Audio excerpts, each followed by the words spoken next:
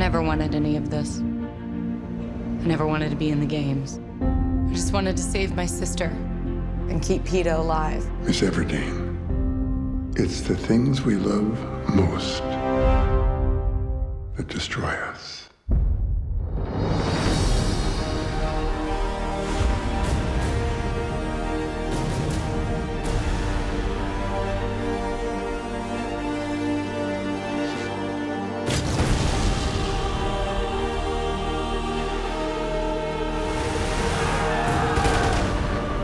Everyone who's watching to lay down their weapons now. You're alive. Peeta is the Capitol's weapon, the same way you're ours. You will rescue Peeta at the earliest opportunity, or you will find another Mockingjay.